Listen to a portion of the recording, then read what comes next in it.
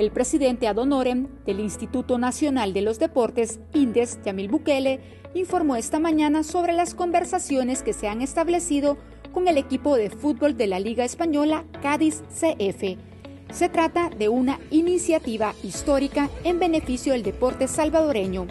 Nosotros tenemos un acuerdo con la Liga, con la Liga del Fútbol Profesional de España, con su fundación, de crear 262 escuelas de fútbol nos comunicamos con el Cádiz y aquí es donde yo hago la relación o la referencia de que todo lo hizo Mágico González. Porque en el momento en que me empiezo a comunicar y empezamos a hablar, lo que más empiezan ellos a mencionar es que cómo no van a hacer una alianza, cómo no van a trabajar con el pueblo querido de nuestro jugador y símbolo Mágico González. Este mensaje eh, es para el pueblo salvadoreño, para el pueblo de nuestro Jorge Mágico González es un mensaje de ánimo ante estos momentos difíciles. El Cádiz Club de Fútbol acudirá a El Salvador a realizar varios proyectos con los que estamos hablando con el gobierno de, El Salvador y con muchas ganas de, que, de estrechar aún más los lazos entre, entre nuestro club y El Salvador.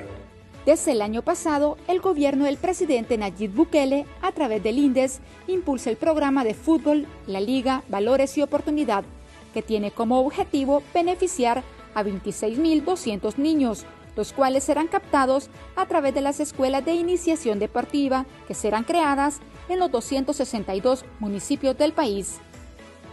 Los vamos a poner a jugar en todo el país, dividido en cuatro regiones. Dividiéndolos, vamos a sacar al campeón y subcampeón de las mejores zonas. Ese grupo selectivo pasará a conformar una estructura Cádiz Vamos a formular campus deportivos aquí en El Salvador como en España.